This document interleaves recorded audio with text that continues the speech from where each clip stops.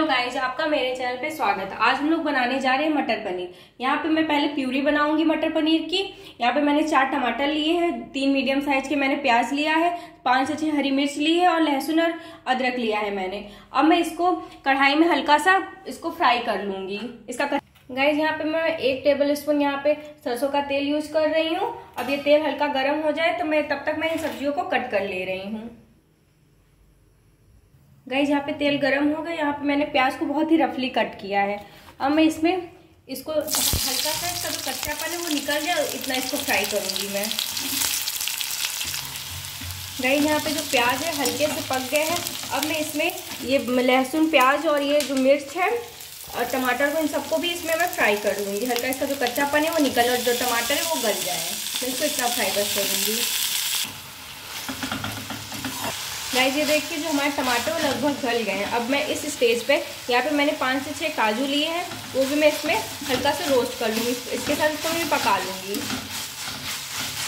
Guys यहाँ पे टमाटर और प्याज जो है, अच्छे से हमारे पक गए हैं। अब मैं गैस को ऑन ऑफ़ कर दूँगी और इसको ठंडा होने के लिए रख दूँगी। और यहाँ पर जो मैंने काजू यूज़ किया इसकी वजह से जो हमारी प्यूरी है, बहुत ही टेस्टी बनी। आप ज़रूर काजू यूज़ करिएगा।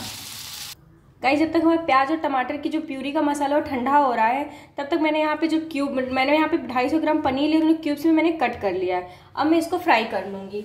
यहाँ पे मैं दो टे, बड़े टेबल स्पून सरसों का तेल यूज़ कर रही हूँ।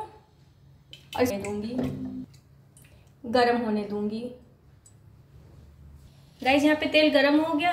अब मैं इस पनीर को यहाँ पे फ्राई करूँगी। मैं इसे हल्का गोल्डन ब्राउन होने तक फ्राई करूँगी इनको। नहीं इसे बहुत हल्के हाथ से चलाइएगा, नहीं तो ये टूट जाएँगे। इसे हल्का मैं गोल्डन ब्राउन हो तक इसको फ्राई करूँगी।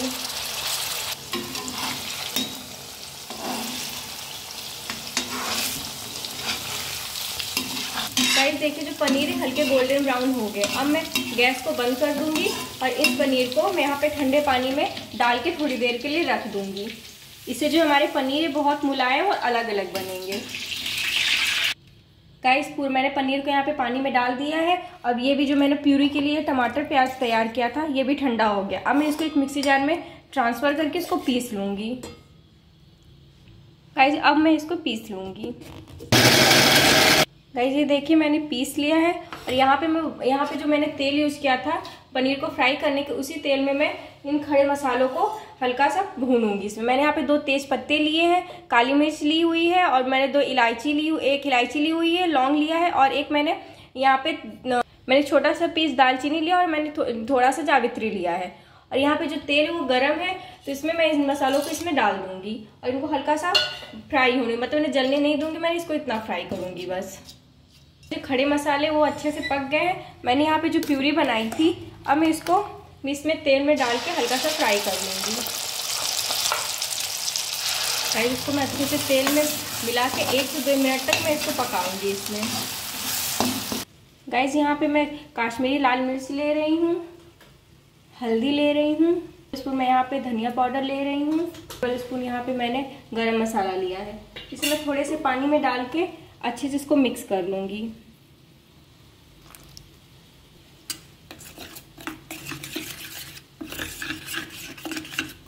इस तरह से जो मसाले हम भिगा के थोड़ी देर के लिए ऐसे रख देते, इससे जो हमारी सब्ज़ी का टेस्ट है बहुत ही अच्छा आएगा।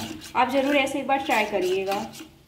गाइस जो मैंने यहाँ प्यूरी थी, अब इसमें जो मसालों को मैंने बनाया है, इसमें ऐड कर दूँगी। और एक से दो मिनट तक इसको अच्छे से मैं पकाऊँगी। थोड़ा सा इसमें पानी डाल दूँगी, इसमें जो बचा हुआ मसाला है, वो भी उसमें आ जाए। गाइस ये बिल्कुल ही ढाबे स्टाइल पनीर मटर पनीर आप ज़रूर घर पे ट्राई करिएगा।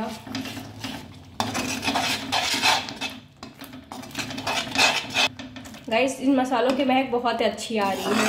और ये देखिए, हल्का हल्का जो हमारे मसाले, वो भी पक रहे हैं, तेल छोड़ने लगा हमारा मसाला। इसको मैं भी तीन से चार मिनट तक और पकाऊँगी जैसे जो हमारे मसाले, वो भी अच्छे से मिक्स हो जाए हमारे प्यूरी में और पक भी जाए।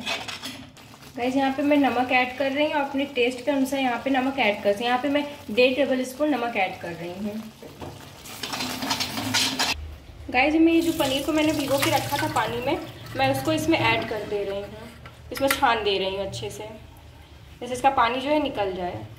गाइस ये देखिए, पानी की पानी में भिगोने के बाद हमारे पनीर कितने अलग अलग और कितने सॉफ्ट बन गए हैं। आप ज़रूर जब भी पनीर बनाए, इसे थोड़ी देर के लिए पानी में ज़रूर रखिए। इससे पनीर जो है बहुत अलग और बहुत ही सॉफ्ट बनेंगे। और जो हमारा मसाला है वो भी देखिए अच्छे से पक गया है, क्योंकि मसालों ने अच्छे से तेल छोड़ दिया है। अब मैं जो पनीर है, इसको इसमें ऐड कर दूँगी। और यहाँ पे मैंने एक कटोरी के लगभग हरी मटर लिया, ये फ्रोजन मटर है, इसको भी मैं इसमें ऐड कर दूँगी। तो मैं अच्छे से मिक्स कर दूँगी।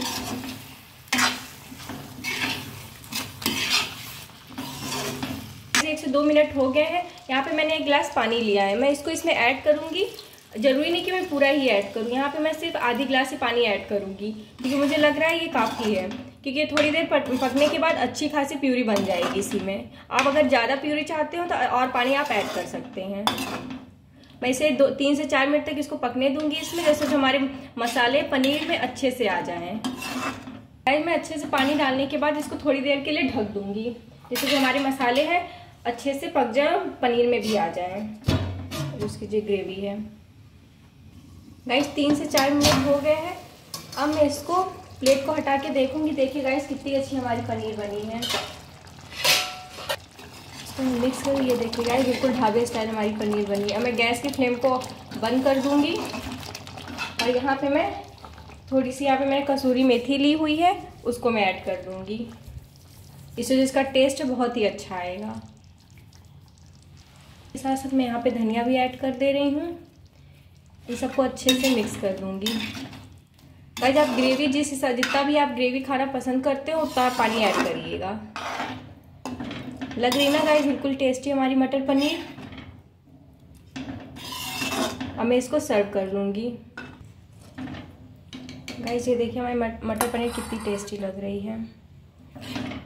आप इसे चावल रोटी के साथ, पराठे के साथ पूड़ी के साथ ज़रूर ट्राई करिए और मेरे कमेंट सेक्शन में ज़रूर बताइए कि कैसी बनी है। गाइज़ मेरे चैनल को लाइक मेरे चैनल को सब्सक्राइब करिए, मेरे वीडियो को लाइक करिए शेयर करिए। Please keep supporting me guys bye bye